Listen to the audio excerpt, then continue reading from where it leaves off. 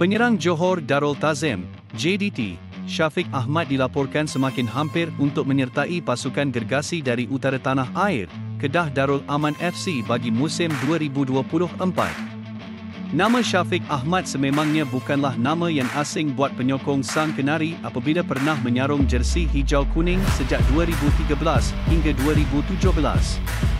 Syafiq juga pernah dipinjamkan dari JDT ke pasukan Kedah pada awal musim 2022 yang mana ketika itu, Kedah layak beraksi di pentas Piala EFC. Namun tempoh pinjaman itu hanya bertahan enam bulan selepas JDT memanggil semula Syafiq untuk memperkuatkan pasukan. Desas-desus kepulangan Syafiq Ahmad ke Kedah itu telah dikongsikan oleh wartawan The Star, T. Avinishwaran melalui satu ciapan di laman ke-10 milik beliau. Biarpun jarang diturunkan namun Syafiq Ahmad tidak pernah menghampakan para penyokong apabila beliau mendapat peluang beraksi.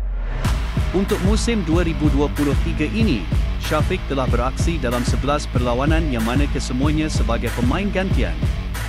Beliau telah meledak tiga gol dalam kesemua pertandingan. Ini bermakna, ketajaman yang ada pada Syafiq masih tidak luntur. Jika perpindahan Syafiq ke Kedah menjadi kenyataan, sudah pasti ianya akan memberikan banyak pilihan buat jurulatih, Nafuzi Zain dalam mencorakkan taktikal baharu menggunakan kemampuan yang ada pada Syafiq.